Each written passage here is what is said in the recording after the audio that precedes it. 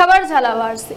झालावाड़ जिला पुलिस अधीक्षक मोनिका सैन ने बताया कि थानाधिकारी कामखेड़ा द्वारा नाकाबंदी के दौरान कार्यवाही करते हुए विगत रात्रि को तीन तस्कर गोलू मीना राम निवास बैरवा, अर्जुन कुमार बैरवा, निवासी बंदा जागीर पुलिस थाना कामखेड़ा के कब्जे से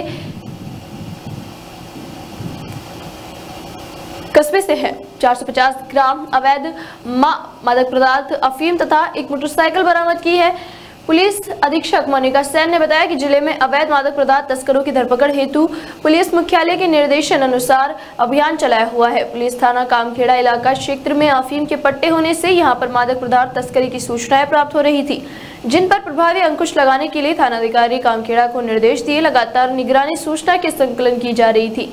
इसी दौरान दिन विगत दिनांक 5 फरवरी 2022 को सुरेंद्र सिंह थानाधिकारी पुलिस थाना कामखेड़ा में जाब्ता द्वारा नाकाबंदी की गई, जिसमें मुलजिम गोलू पुत्र हीरालाल, जाति मीणा, उम्र 22 साल निवासी, बंदा जाज की थाना कामखेड़ा राम निवास पुत्र कांतिलाल, जाति बैरवा, उम्र 23 साल निवासी, बंदा जहांगीर थाना कामखेड़ा, अर्जुन कुमार पुत्र राम प्रताप, जाति बैरवा, उम्र 19 साल निवासी, बंदा जागीर, पुलिस थाना कामखेड़ा के कब्जे से 450 ग्राम अवैध मादक पदार्थ, अफीम, न्यू एक मोटरसाइकिल जब्त कर पुलिस थाना कामखेड़ा द्वारा एनडीपीसीएस में मामला दर्ज कर अनुसंधान कर रहे हैं।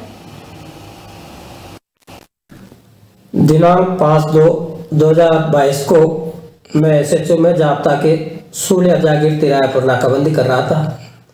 कि नाकाबंदी के दौरान सात तीस पीएम पर एक मोटरसाइकिल सूर्या जागीर की तरफ़ से आई, जो पुलिस जाप्ता को देकर वापस जाने लगे, जिस पर तीन व्यक्ति बैठे हुए थे, जिन्हें घेराबंदी कर रोका। नाम पता पूछा तो एक ने अपना नाम गोलू, पुत्र हीरा लाल मीणा दूसरे ने रामनिवास पुत्र गीसालाल मीणा बैरवा एवं अर्जुन कुमार पुत्र राम प्रताप जाति बैरवा निवासी बंदा जागीर के होना बताए।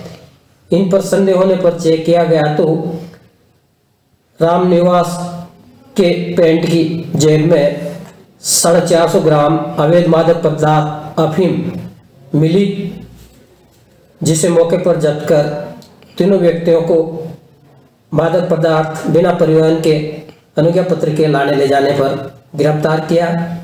अनुसंधान एस एच ओ जावर के सपोर्ट किया है जो अग्रिम अनुसंधान कर रहे हैं।